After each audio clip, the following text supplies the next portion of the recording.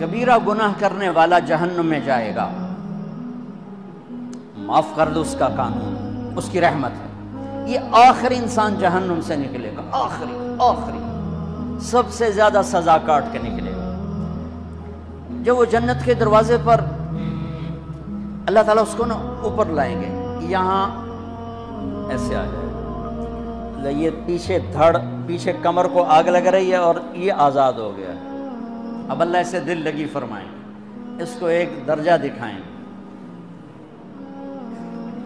कहेगा, या अल्लाह, मुझे ये नसीब फरमा दे, मेरी कंड सड़ गई है, मैं मुझे वहाँ पहुँचा दे। तो अल्लाह ताला फरमाएँगे अगर मैंने वहाँ पहुँचाया, फिर कोई मांगे का नहीं कुछ नहीं मांगा। मानता ही बहुत जब वो पहुँचेगा, अभी उसका आखिरी मरतबा आगे तो अल्लाह एक और दर्जा दिखा देगा। जब उसे देखेगा तो इंसान की तबीयत में लालच तो है, रुकता तो है नहीं थोड़ी देर बाद कहेगा या अल्लाह ऐ दे दे तेरी कड़ी कमी तो अल्लाह ताला कहेंगे फिर और मांगेगा नहीं बिल्कुल नहीं माँगता तो अल्लाह ताला वहाँ पहुँचा देगा फिर एक और दिखा देगा। थोड़ी देर तो सबर करेगा फिर कहेगा या अल्लाह कोई गल नहीं ऐ दे दे तेरे को उनका घट है। और मांगे? नहीं बिल्कुल बिल्कुल। तेरी इज़्ज़त की कसम। अब अल्लाह उसको उसका असली दर्जा दिखाएगा लेकिन अब ये डर जाएगा। कि इतनी बारी मैं चक्करबाजी की थी। हूँ था कि नहीं, वापस दे टिकट ना लगे लिहाजा वो चुप हो जाएगा मांगेगा। अब अंदर ही अंदर वो डर रहा है। और उधर बेसबरा भी हो रहा है। आदमी पैदल हो जाता चल कोई साइकिल ही दे दे, मैं सुराह भी दे दे, कोई गल नहीं चलावा तो सही। जब साइकिल आता है तो कोई मोटरसाइकिल गुजरता अल्लाह सही या कोई मोटर साइकिल दे दे, मैं भावे सजुकी हो वो तो दे दे। जब सजुकी मोटरसाइकिल आ जाता है, फिर गाड़ियों देखते पे कहते यार, कोई मोटर ही दे दे, भावे सजुकी हो जब सजुकी आती, फिर आंदा, यार टोयोटा दे दे। जब टोयोटा आते, यार लैंड क्रूजर दे दे। मुकदा तक किदा ही नहीं आता हिरस हवस इसलिए मेरे नबी कबर की मट्टी तेरे हवस को भरेगी। जब वो चौथा दर्जा नज़र आएगा ना, जो उसका असल ठिकाना है, अब डरेगा कि कहीं रिवर्स ना हो जाऊँ। अब अल्लाह कहेगा, मेरे बंदे अल्लाह तसल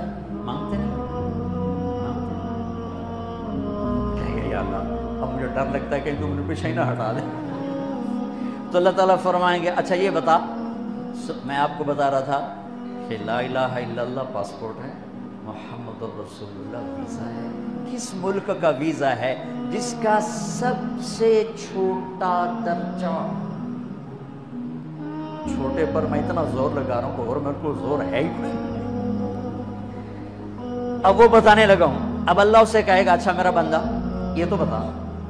मैंने जिस दिन दुनिया बनाई थी, उस दिन से लेकर जिस दिन खत्म की थी, उसका दस गुना करके तुम्हें दे दूँ, राज़ी दस गुना इस धरती का आज का नहीं, दुनिया के पैदा हुए साइंसदान कहते हैं 25 से 30 अरब साल है, ठीक? और पता नहीं आगे कब चलेगी। क्या हूँ पीछे थोड़ा ही काम रह गया। तो दस गुना दे दूँ? वो उसको यकीन नहीं आएगा, बेयकीनी में कहेगा, या अल्लाह रबो के हंसा की जाना मेरे नाल हंसता न कर। तो अल्लाह कहेगा, मैं हासा नहीं कर रहा, मैं सजीक मर, चल।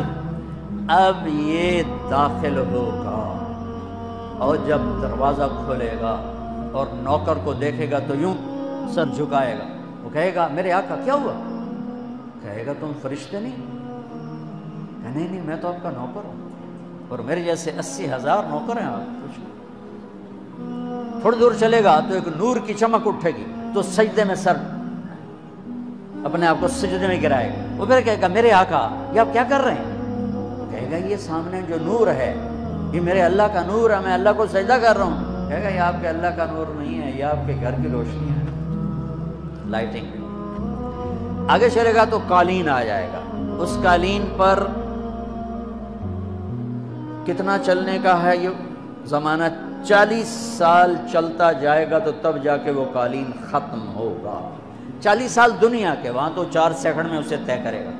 चालीस साल लंबी कारपेटिंग। नवाबा बावलपुर ने इंडिया से बुज़ुर्ग को बुलवाया था तो उनके लिए कारपेटिंग की थी, स्टेशन से लेकर महल तक। तो सारे हिंदुस्तान में गलगला मच गया, शोर मच गया। कि नवाबा बहावलपुर ने इतना चार मील लंबा कालीन बिछा दिया। अदना जो सबसे आखिरी लितर लुतर खा के जन्नत में जाएगा, उसकी कारपेटिंग चालीस साल, आगे अस्सी हज़ार नौकर। मैं अभी मैं आया हूँ तो ये फूल लेके खड़े हुए थे। वो सारे फूल लेके खड़े होंगे। और कहेंगे, अमा आन सैदना अन नजूरा हो अरे, हमारे आका सारे जन्नती जन्नत में चले गए।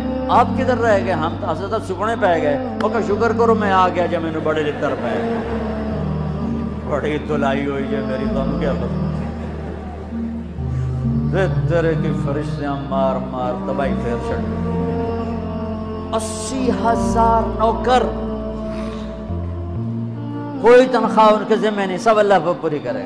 खिलाना, पिलाना, सब अल्लाह के जिम्मे। पहनाना, सब अल्लाह के जिम्मे। हाँ हाँ।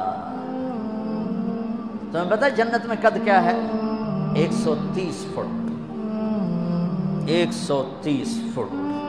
आदम इस्लाम को अल्लाह ने 130 फुट की हाइट पे बनाया था। जन हमारी अम्मा जान भी 130 फुट की थी। ये बात तो शायद आप सबको पता है कि यूसुफ सलाम दुनिया में सबसे खूबसूरत मर्द आए। ये बात शायद बहुत बहुतों को पता ना हो कि इस कायनात की सबसे खूबसूरत औरत हज़रत हवा है। हज़रत हवा सबसे हसीन औरत, वो भी 130 फुट की थी। जब जन्नत में जाएँगे तो अल्लाह के फजल से इस कद के साथ नहीं जाएँगे, ये तो कद एडा सारा है। और जन्नत की हूर 130 फुट तुम क्या साढ़े पाँच फुट तो वो जज पा के हो अब वो 130 फुट हाइट हो, और डॉक्टर यूसुफ साढ़े पाँच फुट अंदर गया तो वो जज गुम हो जाना हो सका मेरा हस्बैंड गया कि देखा बे पासे से जब पासे जोली है जब मगरू तो अस्सी हज़ार नौकर कहेंगे। कहाँ रह गए? वो कहेगा, शुक्र करो, मैं आ गया जी। फिर जब ये मैदान में उसको बिठाएँगे, अस्सी हज़ार, एक हाथ में बर्तन, एक हाथ में प्याला, अस्सी हज़ार ड्रिंक्स और अस्सी हज़ार खाने। ये खाएगा, पखाना नहीं, पिएगा पेशाब नहीं, खाएगा लज्जत में कमी नहीं, पिएगा लज्जत में कमी नहीं। खाने का निज़ाम अलग है, पीने का निज़ाम अलग है। खा पी के जब फारग होगा, कहेंगे, अब आप अपने अहलियत से मिल लें, अपनी बेगम साहब से मिल लें, जन्नत के हूर, ये एकदम गायब हो जाएँगे। सामने से जब पर्दा हटेगा तो एक और मह कायनात नज़र आएगी, और उस पर एक लड़की यूँ बैठी होगी, ऐसे ठीक लगा, थोड़ा तख्ती छोटा नहीं, तुम दोनों खावा ऐसे कर। तो ऐसे करके बैठी होगी। तो वो जब उस पर नज़र पड़ेगी ना, जन्नत की लड़की पर तो उसकी आँखें ऐसे फटी रह जाएगी ऐसे रह जाएँगी। देखते जा रहा देखते जा रहा देख चालीस साल बस ऐसे ही बैठा रहेगा जिसने जन्नत के काले काले दोजा के काले फरिश्ते देखे हों। वो हुए मरेगा नहीं तो और क्या लिखी आखिर वो बोलेगी अमाल कफीना मिन रगबतिन। मेरे आका, आप मेरे पास नहीं आएँगे। फिर उसको होश आएगा, अरे बीबी तो कौन है? क्योंकि तेरी बेगम और कौन? तेरे इंतज़ार में बैठे बैठे घड़ियाँ बीत गई। तो ये सबसे अदना दर्जे की जन्नत है तो आला दर्जे की जन्नत क्या होगी? और ये ईमान वाली औरत, ये ईमान वाली औरत जो दुनिया में अल्लाह उसके रसूल को राज़ी करके चली गई, इस जन्नत की लड़की से सत्तर हज़ार गुना ज़्यादा खूबसूरत मेरे बच्चों, अल्लाह रसूल से ताल्लुक मोहम्मदी बन जाओ, डॉक्टर की डिग्री भी लो और साथ मोहम्मदी डिग्री भी लो। डॉक्टर की डिग्री मौत पे बेकार हो जाती है और मोहम्मदी डिग्री ऐसे खुल के सामने आती है कि दुनिया भी तुम्हारी, आखरत भी तुम्हारी, कब्र भी तुम्हारी। ये तबलीग उसको सीखने की एक खूबसूरत मेहनत है। अपनी ज़िंदगी 24 घंटे की ज़िंदगी में सिर्फ़ पाँच नमाज़ फ़र्ज़ हैं। ना छोड़ो, नमाज़ ना छोड़ो, नमाज़ ना छोड़ो। किसी हाल में ना छोड़ो।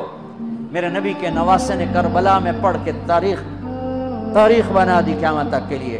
कि करबला जैसी शिद्दत हो तो भी नमाज़ नहीं छूट सकती रोज़ा छूट सकता है, मुसाफिर है, बीमार है, हज छूट सकता है, पैसा कोई नहीं, जक़ात छूट सकती है, पैसा कोई नहीं, नमाज़ नहीं छूट सकती। तो जितने आप बैठे हो इस हैं, बच्चे बार बच्चे नमाज़ ना छोड़ना मैं हाथ जोड़ नमाज़ ना छोड़।